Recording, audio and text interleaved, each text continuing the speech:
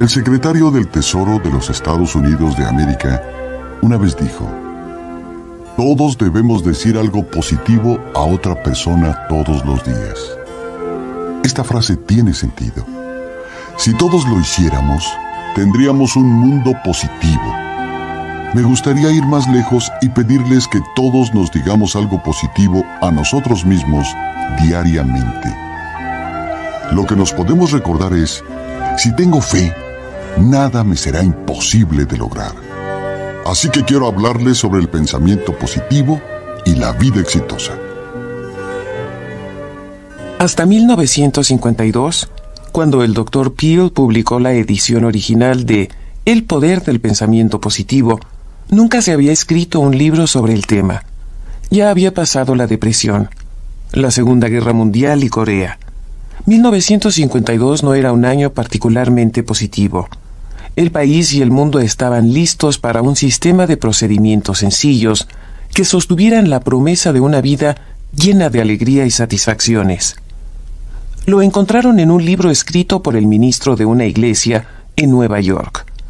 Quizá esto explique por qué El poder del pensamiento positivo ha vendido más de 20 millones de copias en más de 45 idiomas y hoy en día sigue siendo una de las obras más inspiradoras de todos los tiempos.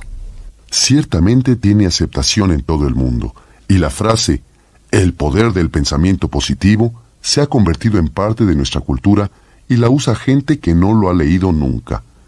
El doctor Peel siempre señalaba que algunas personas eran pensadores positivos naturales. Quizá es porque nacieron así. Como él decía, Observen a un bebé sano y estarán viendo a un ser humano positivo. Un bebé espera ser amado, alimentado y cuidado. Es cuando crecen que los niños pierden sus actitudes positivas. Si la atmósfera de la familia está condicionada negativamente, entonces los niños adoptarán actitudes negativas. Más adelante, cuando los jóvenes se valen por sí mismos, pueden desear ser menos negativos, pero piensan que es demasiado difícil deshacerse de los malos hábitos e intentar unos nuevos. La buena noticia es que cualquier mal hábito puede romperse y cualquier buen hábito puede cultivarse. Si se tiene deseo, fuerza de voluntad e imaginación, se pueden revertir los procesos de pensamiento aún más arraigados. ¿Qué pasa con ustedes? ¿Son de esos adultos que crecieron en un ambiente negativo? ¿Cómo ven su mundo ahora? ¿Son personas positivas? ¿Se ven a sí mismos hechos a la imagen de su Creador y por lo tanto entienden que con fe pueden lograr cualquier cosa?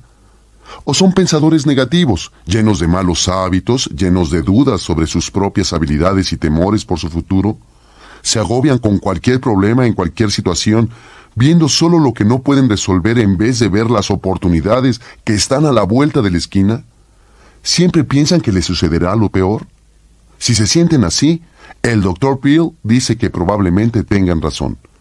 Él lo llamaba la ley de la atracción. El pensamiento negativo es algo muy peligroso. El pensador negativo constantemente envía al mundo que lo rodea pensamientos negativos y activa ese mundo negativamente. Hay una ley conocida como la ley de la atracción. Las cosas semejantes se atraen si uno constantemente envía pensamientos negativos, tiende a obtener resultados negativos. Por el contrario, el pensador positivo envía pensamientos positivos y activa positivamente el mundo que lo rodea. Sobre la base de la misma ley de atracción, tiende a obtener siempre resultados positivos. ¿Cómo es el mundo en que viven actualmente? ¿Es negativo o positivo. Sea como sea, ha sido creado por su forma de pensar. ¿Cómo será su vida dentro de 10 años? Irá de acuerdo con su pensamiento principal y motivador. Uno de los hombres más sabios que he conocido fue William James, profesor en la Universidad de Harvard, considerado como el padre de la psicología norteamericana. Entre otras cosas dijo, el descubrimiento principal de mi generación es, y bueno, en su generación se descubrió el principio del automóvil, el teléfono, la luz eléctrica, el radio, todos ellos inventos impresionantes. Pero en fin, lo que él dijo fue, el descubrimiento principal de mi generación es que los seres humanos pueden alterar sus vidas alterando sus actitudes. Nadie ha refutado esto nunca. Así que si no están satisfechos con sus vidas en este momento, pueden alterarlas modificando la actitud mental y la manera de pensar. Algunas personas me han preguntado si hay alguna conexión entre el pensamiento positivo y la Biblia. Sí. De ahí es de donde viene. La Biblia es el libro más importante que se haya escrito sobre pensamiento positivo. Aunque está plagado de pena, dolor, derrota, sufrimiento y pecado, está también lleno de maneras de superarlas. En el mundo, decía, tendremos tribulaciones, pero teniendo buena actitud, he podido sobrellevarlo. Nadie, ni siquiera el mismo Jesús, vivió una vida sin problemas, pero con fe positiva pueden manejar esos problemas y sobrellevarlos como una persona fuerte y con más energía. El doctor Peel ponía énfasis en que podemos cambiar de ser un pensador negativo a uno positivo. Lo único que se necesita es querer hacerlo. El deseo de cambiar debe convertirse en su prioridad número uno. Y más que un simple anhelo, debe haber un deseo intenso. Si no quieren ser positivos realmente, hay muy pocas posibilidades de que lo sean. Depende de ustedes. También es importante darse cuenta de que el pensador positivo no rechaza reconocer lo negativo. Claro que no. Los elementos negativos existen. La diferencia es que el pensador positivo ve lo negativo, pero lo rechaza. En vez de resignarse a que las cosas salgan mal, busca lo bueno, aunque la situación sea mala. Como el viejo dicho, cuando la vida da limones a los pensadores positivos, hacen limonada. El pensador positivo tiene una mente fuerte y rechaza ser derrotado. Él saca el mejor provecho de lo que tiene en la vida. Cuando las cosas salen mal, como sucede en muchas ocasiones, encuentra la manera de triunfar aun cuando se trata de una tragedia. Así decía Marsha Boucher, amiga del Dr. Peel. ¿Quién es Marsha?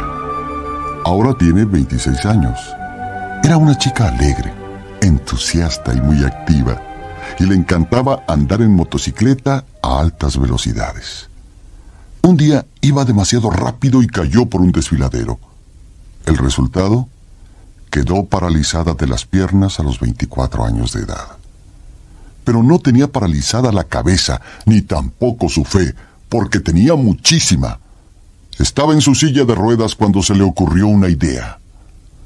¿Por qué no puedo ser la conductora más rápida de silla de ruedas de todos los Estados Unidos de Norteamérica? Se enteró de que había un maratón en Miami y decidió participar. Después de mucho practicar, ganó el maratón en 3 horas 40 minutos y 10 segundos, 5 segundos más rápido que el récord mundial. Ahora dedica su vida a ayudar a personas en silla de ruedas a vivir una vida increíblemente exitosa y emocionante.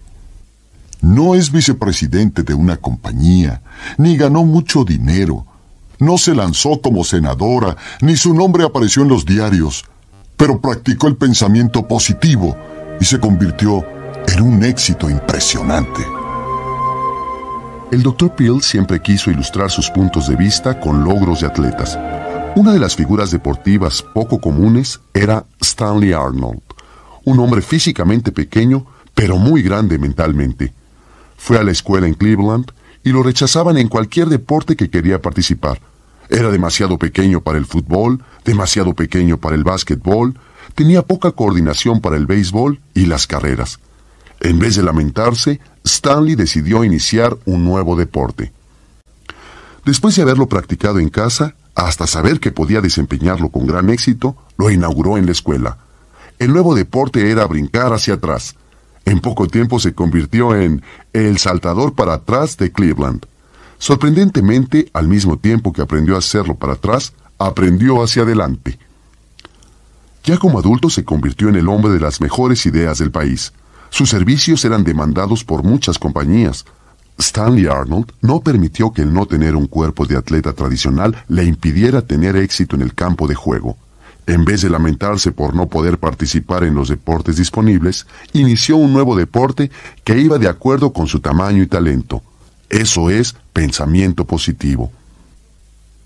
En su libro, ¿Por qué los pensadores positivos obtienen resultados positivos? El doctor Peel definió el pensamiento positivo describiendo a un pensador positivo. Dice que un pensador positivo es una persona fuerte, íntegra y mentalmente sólida. Ve toda dificultad, pero la ve directa.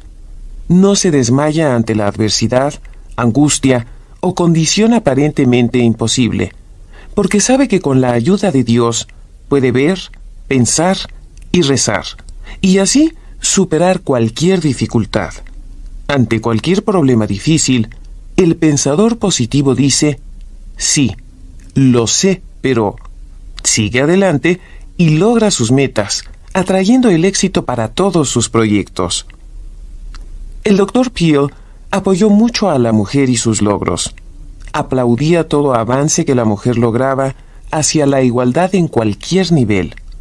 Le gustaba contar la historia de Blanche Green para ilustrar cómo el pensamiento positivo puede cambiar la vida de una persona. Veo que las mujeres finalmente están llegando a su cometido en la vida industrial de su nación. El que uno de los sexos deba considerarse superior al otro no tiene ninguna justificación. Pero hace años, la iglesia que llegó a ser presidente de su compañía. Esto fue hace 30 o 40 años. En su época logró tener la estatura de una de las mejores vendedoras del país. Fue todo un personaje. Era agresiva. Algunas personas no la querían porque arremetía con toda su fuerza y tenía demasiada. Era demasiado fuerte. Era alguien. Y aunque a veces era agresiva, era un gran ser humano. Blanche Green se casó con un maestro de escuela en aquellos tiempos cuando la mujer no hacía más trabajo que cocinar. Un día, su esposo murió y la dejó sola. No tenía dinero, así que tenía que trabajar. Fue difícil porque las mujeres como ella nunca trabajaban. No se había hecho antes. Ninguna mujer elegante como ella, que usara guantes todo el tiempo, podía salir al mercado y trabajar. Pero Blanche tenía que hacerlo o moriría de hambre. En esos días, el gobierno no ayudaba a la gente como ahora, y además, ella nunca lo hubiera permitido. Se fue a New Haven, donde dos jóvenes estaban iniciando un negocio y les dijo que quería ser su vendedora. La miraron y le preguntaron, ¿Y usted qué sabe de ventas? Ella contestó, absolutamente nada. Pero he rezado mucho y el Señor me dijo que puedo ser una gran vendedora y que puedo ayudarles en este negocio. Estaban asombrados, pero le creyeron. Ella comenzó a vender, casa por casa, en una época en que las mujeres no lo hacían. Antes de empezar, planeó su trabajo y al día siguiente puso a funcionar ese plan. Fue su motor, planear su trabajo y desempeñarlo de acuerdo con el plan. Cuando llegó a la primera casa, se paró en la puerta y recitó el primer capítulo de los Romanos, versículo 31. Si Dios está con nosotros, ¿quién puede estar en nuestra contra? Luego lo personalizó. Si Dios está conmigo, ¿quién y qué puede estar en mi contra? Caminó hacia la mujer y le dijo que estaba muy contenta de haber venido a venderle. Cuando me acuerdo de Blanche, pienso en el poder del pensamiento positivo. Ella me dijo, nunca debes, ni siquiera vagamente, albergar la idea de que no puedes, porque con Dios podrás hacer lo que quieras. Por eso le sugiero que permitan que el pensamiento positivo funcione para ustedes, porque tiene un poder extraño y maravilloso para liberarlos de derrotas y ponerlos en el camino de la victoria. Todo lo que el Dr. Peel escribió y todo discurso o sermón que dio, de alguna manera conducía a la idea del pensamiento positivo. En estas cintas vamos a hablarles sobre los pasos que el Dr. Peel sugería que debíamos tomar en el camino para lograr diversas cualidades positivas. Encontrarán que cada uno de estos pasos también nos llevará a ser pensadores positivos, porque el pensamiento positivo es la base de la actitud saludable y de una vida exitosa.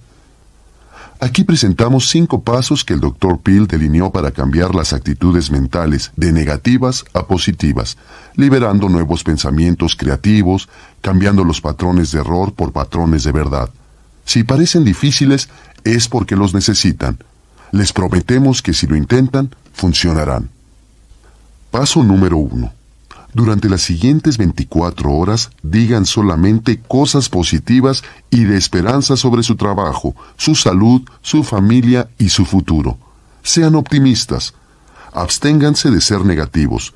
No importa lo difícil que parezca la situación. Luego, háganlo durante una semana completa. Si pueden ser positivos por un día, pueden ser positivos siete días y por toda la vida. El segundo paso es alimenten su mente mientras alimentan su cuerpo. Comiencen cambiando su mente de pensamiento negativo a positivo, leyendo libros y revistas motivadoras. Esto significa que alejen su atención de historias y noticias negativas y sensacionalistas. Lean la Biblia y pongan atención a las veces que la fe y la esperanza se mencionan. Consigan biografías de hombres y mujeres que han logrado el éxito superando obstáculos enormes. Noten cómo lo hicieron y verán que es el pensamiento positivo lo que marcó la diferencia. Paso 3. Hagan una lista de los amigos con los que pasan mucho tiempo y pongan una marca junto a aquellos que son pensadores positivos. Deliberadamente hagan un esfuerzo para estar con ellos con mayor frecuencia. No abandonen a los pensadores negativos que conozcan. En vez de ello, adopten las actitudes positivas de los pensadores positivos y traten de influenciar con ellas a los amigos negativos. Pueden incluso hacer que tengan una mañana más positiva. El cuarto paso hacia el pensamiento positivo es evitar discusiones a toda costa. Cuando escuchen que se expresa una actitud negativa, rebatirla con una opinión positiva y optimista. Si alguien no está de acuerdo con ustedes, déjenlo. No empiecen una pelea por nada. Dejen que la paz y la armonía iluminen sus días en vez de polémicas negativas. Y el quinto paso del Dr. Peel en el camino hacia una actitud positiva es rezar y meditar mucho con gratitud por las cosas maravillosas que el Creador les ha dado, cuando menos por la habilidad de encontrar lo bueno en toda situación. Para él, el pensamiento positivo era sinónimo de fe. Si tienen fe en alguien más grande que ustedes, no pueden ser más que positivos, porque saben que siempre estará ahí para ayudarles con lo que la vida les presente. Como pueden ver, el pensamiento positivo no requiere mayor habilidad que la de poner mentalmente su mundo en una nueva perspectiva. Requiere un deseo intenso de su parte para ser positivos, así como de fe en que Dios siempre les dará la mejor solución a cualquier problema que enfrenten. Al Dr. Peel le gustaba hablar del capitán Cook, navegante y explorador inglés que fue el primer europeo en pisar las islas de Hawái. Las cuatro embarcaciones del capitán Cook se llamaban la Resolución, el Valor, la Aventura y el Descubrimiento. De visita en Whitby, Inglaterra, el Dr. Peel leyó la siguiente inscripción en la base de la estatua del capitán Cook y encontró que era especialmente pertinente para el pensador positivo. Impulsar, buscar, encontrar y no derrotarse. Esto significa que usted y yo en mares tormentosos navegaremos nuestros pequeños barcos. Llamémosles resolución. Llamémosles valor. Llamémosles aventura. Llamémosles descubrimiento. Sobre el principio de que ganamos y buscamos, seguimos adelante y nunca nos derrotamos. Esa es una descripción de un pensador positivo.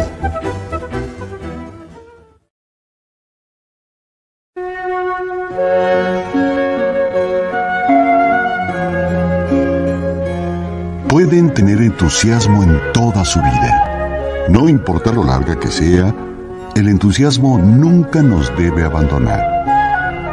Sé que lo que les he dicho constituye algo un poco extraño porque me pueden decir, ¿qué pasa con todos los problemas que hay en el mundo? ¿Qué pasa con las enfermedades? ¿Qué pasa con la frustración, el dolor, la pena, la dificultad? No permitan que les digan que pueden evitarles estas cosas. Son parte de la vida humana. Pero cuando alguien les mencione que pueden sobrellevarlas, eso es ya un postulado diferente. Nos referimos a que pueden tener un entusiasmo profundo que estará con ustedes toda su vida y no les permitirá caer o derrotarse. Todos los que lo conocimos sabemos que no existió una persona más entusiasta que Norman Vincent Peale.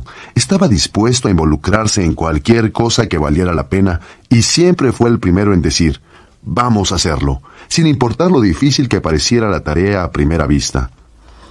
¿No les gustaría ser como el Dr. Peale?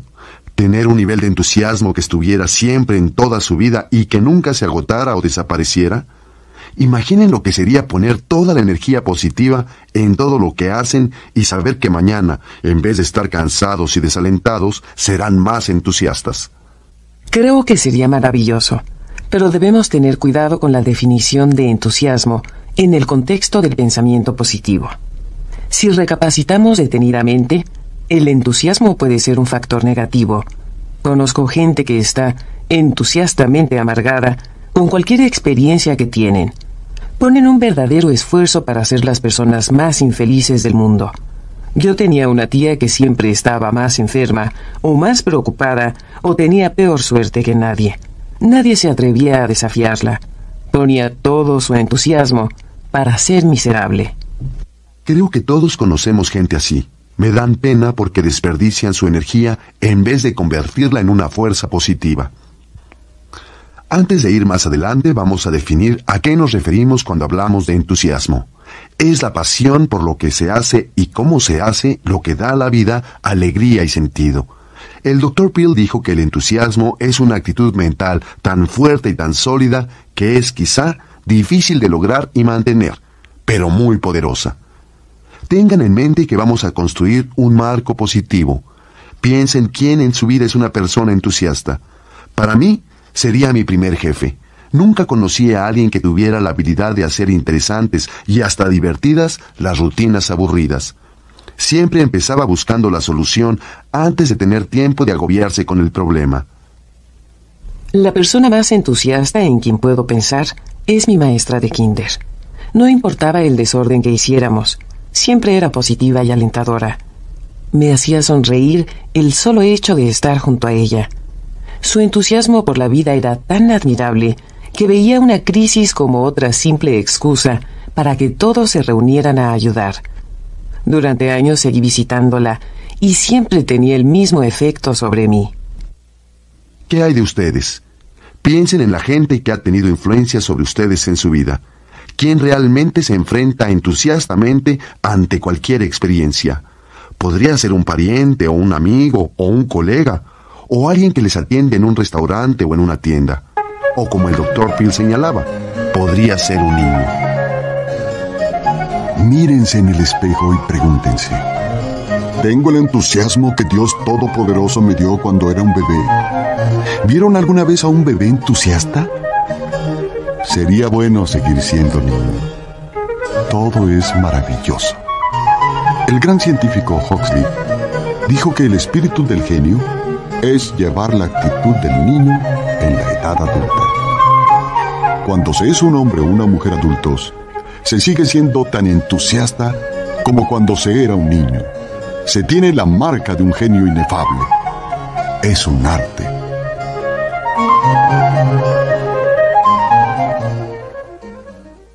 Los niños tienen una capacidad impresionante para ver el mundo como un lugar brillante. La semana pasada fui al cine con una amiga y su pequeño hijo. Era una película popular. de las que a todos los niños les gusta. El chico difícilmente podía contenerse, casi brincaba de emoción. Cuando llegamos al cine, no pudo comprar palomitas porque la máquina estaba descompuesta, pero no le importó. Él solo quería ver la película. Dentro del cine, ya estaban casi todos los asientos ocupados y tuvimos que sentarnos de lado en la fila de atrás. Para él estuvo perfecto. Debido a un problema con el proyector, la película empezó tarde y el público comenzó a molestarse. Fue entonces cuando se levantó de su asiento y le prometió a la gente a su alrededor que esta película era tan buena que no importaba esperar unos minutos. Cuando terminó, aplaudió con alegría porque la había disfrutado muchísimo. Su entusiasmo se contagió muy pronto. Todo el público estaba aplaudiendo con él. Mi amiga y yo sonreíamos y decidimos que la película no fue tan mala. No importaban las inconveniencias. Nos contagió la actitud entusiasta del niño. Eso es lo que va a suceder cuando ustedes irradien su entusiasmo. Se vuelve tan contagioso que todos a su alrededor lo van a imitar. Esta historia me recuerda una pregunta. ¿Qué es lo que hace a los niños tan entusiastas? Quizás sea que esperan que todo sea bueno y positivo y están genuinamente complacidos cuando lo es. Observen a los niños y verán que son muy positivos. Su expectativa es ser felices y si no se cumple harán lo que sea para cambiar su realidad y que concuerde con su expectativa, aunque eso signifique llorar. Los adultos tenemos un enfoque diferente. Mientras que un niño siente que la expectativa es igual a la realidad, los adultos nos basamos en nuestra percepción para definir la realidad de cualquier situación. Tomamos claves de lo que está bien frente a nosotros, todo en blanco y negro sin sombras de gris. Las filas en el cine son demasiado largas. No había palomitas, los asientos no eran buenos, la proyección empezó tarde, por lo tanto la experiencia fue desagradable y no queremos volverla a repetir. El secreto, entonces, es recordar a ese niño, tratar de recapturar nuestro entusiasmo de la niñez y llevarlo con nosotros día con día. Al crecer, comenzamos a imitar a los adultos que nos rodean. Vemos la televisión y notamos que la gente negativa es la mayoría. Son los que reciben los aplausos. Aprendemos a imitar al simpático y no al bueno en realidad comenzamos a igualar el entusiasmo positivo con ser jóvenes e inmaduros. Ahí es cuando se pierde el mensaje y nos encontramos arrastrándonos como las serpientes en vez de volar como las águilas. El águila fue un símbolo importante para el Dr. Peel y con frecuencia hacía referencia a los salmos. Por ejemplo, el Salmo 103. Nunca antes lo he leído así. El traductor debe haber sido un entusiasta. Dice, llena mi vida con cosas buenas de manera tal que siga siendo joven y fuerte como un águila. ¿No es fantástico? Lo ven. Si están con Él toda su vida, Él llenará su mente con cosas buenas para ser siempre jóvenes y fuertes como un águila. ¿Han visto a un águila no solo en los billetes de un dólar? Yo sí. Recuerdo una que echó a volar. Volar con gran estruendo, con sus poderosas alas batiendo en el aire. Tomó gran altura y pronto llegó a la cima de una montaña. Nada la haría regresar.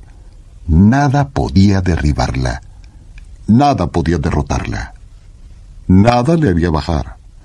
Era un águila. Como ven, si le permiten llenar sus vidas con cosas buenas, permanecen jóvenes y fuertes como un águila. Esa es la gente que conoce al Señor. Al igual que el Dr. Peel, también mi símbolo es el águila.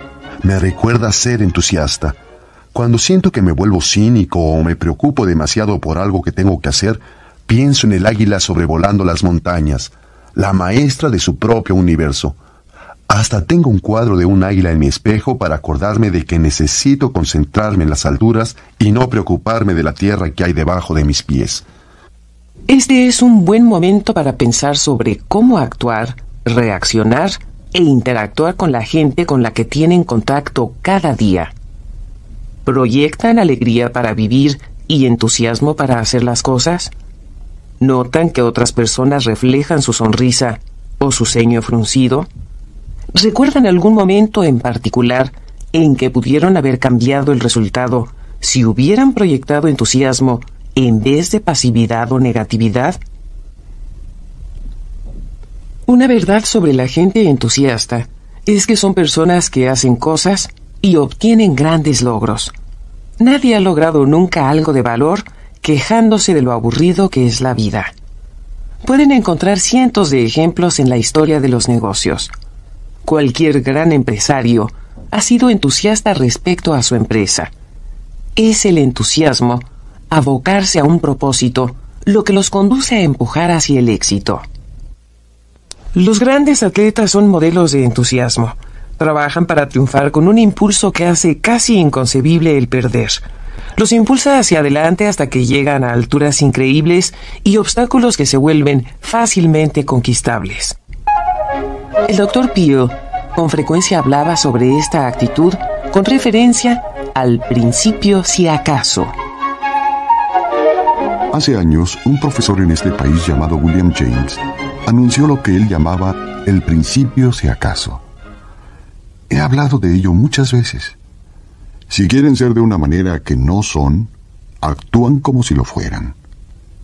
Por ejemplo, si están llenos de temor y no quieren, actúan como si estuvieran llenos de valor y mientras más actúan así, más piensan así y todas las fuerzas de su naturaleza conspiran para hacerlos así.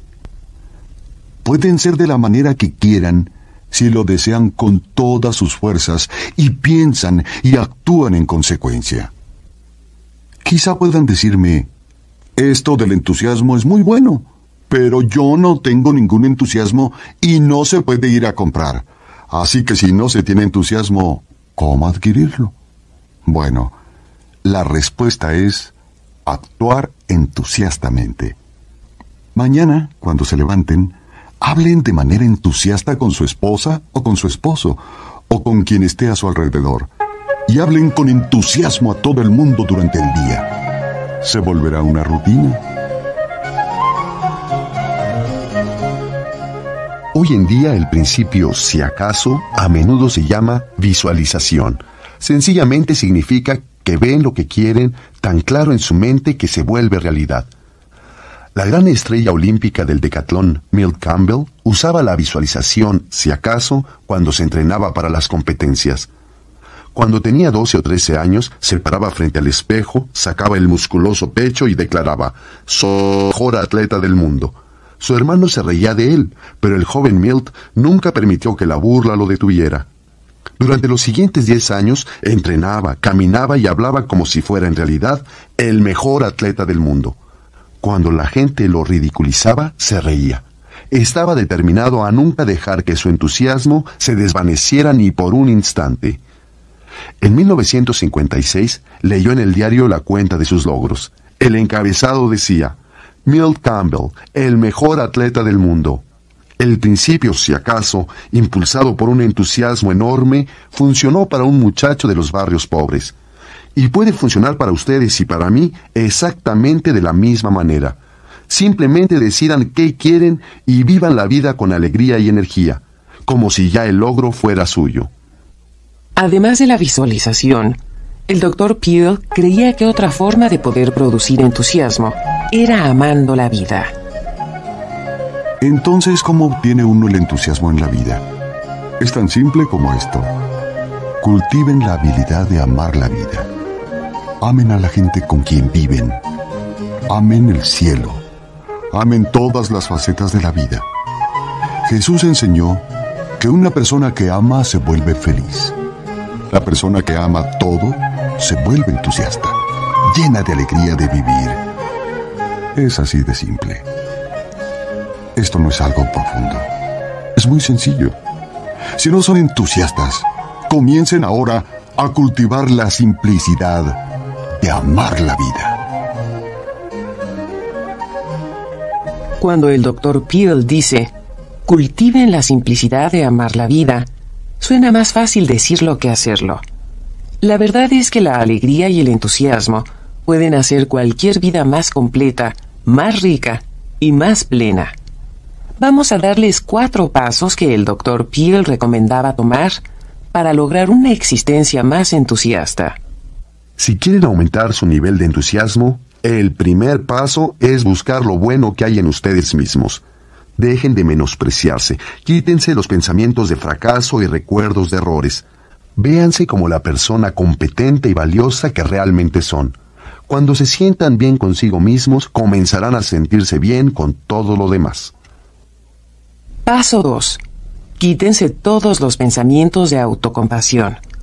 Comiencen a pensar en lo bueno que han logrado y no en lo que han perdido.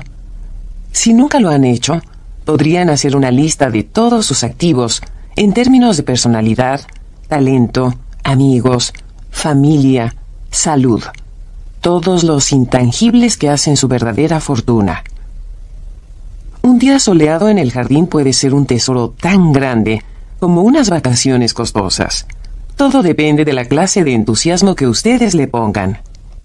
El tercer paso hacia una vida más entusiasta es dejar de pensar en uno mismo y buscar otra persona que los necesite.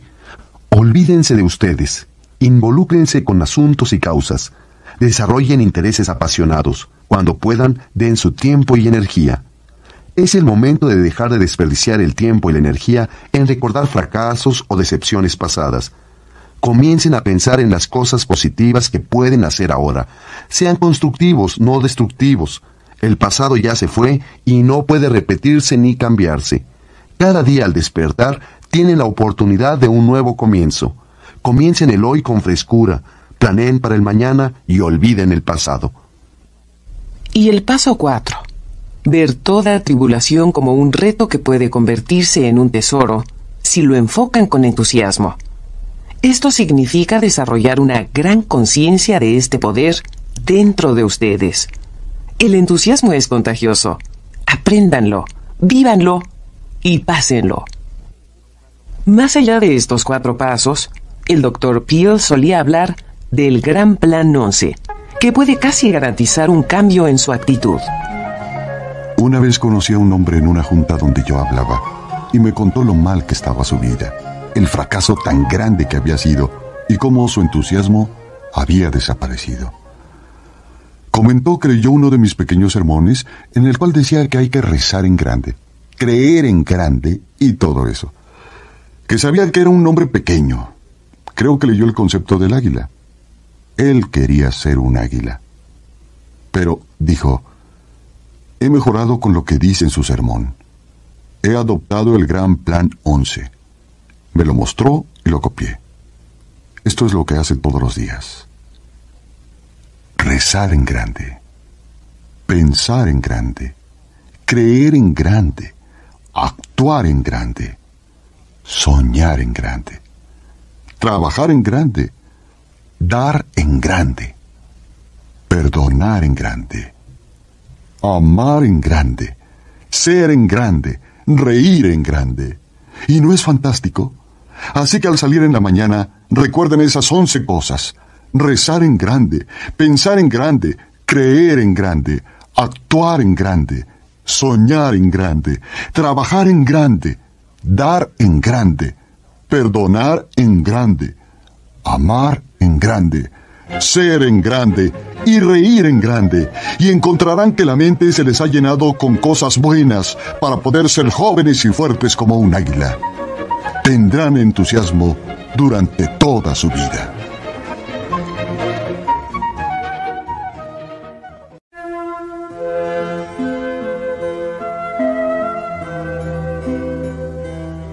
La pregunta que tengo ahora para ustedes es, ¿les gustaría tener lo mejor de este mundo o están dispuestos a quedarse con lo peor? Alguien con un poco de cerebro conoce la respuesta. Es preferible tener lo mejor. ¿Y cómo van a conseguir lo mejor? La respuesta es pensar lo mejor y no lo peor, porque al final del camino se obtiene lo que se piensa. Si quieren saber cómo van a ser dentro de 10 años, puedo decírselos. no necesito leerles la palma de la mano. Todo lo que necesitan es leer los pensamientos que están activando su mente, porque en 10 años, esta continuidad de pensamiento activará el universo a su alrededor y producirá condiciones externas que fluyen del estado mental interno. Muy peligroso. Estas pequeñas cosas que pensamos son como una araña balanceándose en su telaraña. Es fugaz, aunque puede verse, pero no se puede ver un pensamiento. Lo que podemos ver es la huella del pensamiento y su efecto. Si se suman todos estos pensamientos, dentro de 10 años, ustedes y yo seremos lo que pensamos. Los pensamientos del Dr. Peel lo convirtieron en un optimista muy cálido. Era el ejemplo perfecto de una persona con pensamientos positivos, lo cual significa que su optimismo era asombroso. En ocasiones estamos especialmente cínicos. Podríamos llamar optimistas falsos a personas que están injustamente contentas porque es difícil creer que el mundo sea tan brillante y positivo como ellos lo pintan. Sin embargo, son los optimistas quienes han demostrado ser empresarios, inventores, innovadores, líderes y pensadores con éxito. Es por ello que el optimismo es una de las cualidades más poderosas del pensador positivo. Cuando se tienen pensamientos positivos, la mente se vuelve una fuerza propulsora de todas las acciones. Las personas optimistas son las que logran lo que quieren. Solo ven el éxito y rechazan aceptar la idea de fracaso. Para ellos, el vaso está siempre medio lleno, en vez de medio vacío. Por otra parte, el pesimista cree que la maldad de la vida vence a la bondad. En nuestra cultura, el pesimista probablemente se define como un personaje de caricatura. Una persona que va por la vida con una nube negra sobre la cabeza y la tormenta siempre le cae encima. Es el pesimista perfecto vive bajo lo que el doctor Peel llamaba un techo bajo. Si han viajado en avión, saben lo que significa un techo bajo. Al despegar, el aire alrededor del avión es gris y nebuloso. El sol y el cielo azul no se ven por ninguna parte. Este es el punto de vista del pesimista. El optimista, en cambio, sabe que al pasar las nubes, el sol estará brillando y el horizonte se abrirá frente a él. Los optimistas buscan lo mejor en toda mala situación y tratan de mantener sus mentes libres de pensamientos no saludables. Si se es un optimista sólido, buscará lo positivo en todo. Ve cada situación realistamente, pero también ve algo más. Reconoce un reto para su inteligencia, su ingenuidad y su fe. Busca una guía para saber cómo tratar las cosas difíciles. No se da por vencido, sigue pensando, sabe que hay una respuesta y está seguro de poder encontrarla. Quizá pueda vencer los obstáculos, quizá encuentre la forma de desaparecerlos, o quizá aprenda a vivir con ellos. No importa qué curso tome, su actitud será más importante que la situación misma. Para su crecimiento es importante que reconozca cuáles características tiene en abundancia. ¿Encuentra siempre lo mejor en una mala situación? ¿Se desalienta fácilmente y se da por vencido en el momento en que la situación parece ir por el camino equivocado? ¿Supone que nunca va a tener lo mejor que la vida le ofrece? ¿Espera siempre lo peor para así no sentirse decepcionado? ¿O es una de esas personas que por naturaleza sabe que hay cosas buenas esperándole? Se siente facultado y capaz de enfrentar cualquier reto y ganar? En otras palabras, ¿tiene usted lo que el Dr. Peel llamaba expectativa positiva creativa? Expectativa positiva creativa. Si pudiéramos enseñar eso a la gente, si pudiera enseñarse en las escuelas, por ejemplo, si las escuelas del país enseñaran a los niños a buscar lo mejor y que pueden lograrlo, que pueden ser los mejores, tendríamos el mejor país en la historia de la humanidad. Yo ya lo he logrado, compartiendo mis ideas, pero podríamos ampliarlo más. Di un discurso en Carolina del Sur para un hombre llamado H. William Mitchell, superintendente de las escuelas. Tenía una reunión importante con 15 o 20 mil personas en un enorme gimnasio. Estaban celebrando un año de práctica del pensamiento positivo en las escuelas públicas. Esto es lo que sucedió en las escuelas públicas cuando los niños captaron la idea de la expectativa positiva creativa y la fe religiosa. Se unieron todos. Por primera vez en la historia, los estudiantes de primer grado en las 15 escuelas tuvieron calificaciones superiores al promedio nacional. El 53% de los estudiantes de tercer grado de una de las escuelas obtuvo calificaciones arriba del promedio nacional, con un aumento del 10% en un año del total de becas. Los estudiantes de segundo de preparatoria mejoraron sus habilidades de lectura en un año de 6.4 a 7.7. Los logros en ciencias mejoraron de 7.2 a 8.7. La asistencia de alumnos en todas las escuelas aumentó 2.31% del porcentaje ya alto de 94.31. El vandalismo en las escuelas en estos años pasados fue muy bajo. Las expulsiones de alumnos disminuyeron y aumentó la participación de los padres de familia. Tan impresionante fue este milagro en las escuelas que los educadores de Venezuela e India están interesados en los detalles. ¿No sería maravilloso? Si todas las escuelas cada día dijeran a sus alumnos, imaginen ser lo más creativos que puedan y tengan siempre esa imagen en sus mentes, produciríamos ciudadanos superiores. En el primer lado de este cassette hablamos sobre el poder del entusiasmo y la necesidad de mantener alto su nivel de entusiasmo. Ahora ya saben que deben pensar positivamente cuando tengan un problema.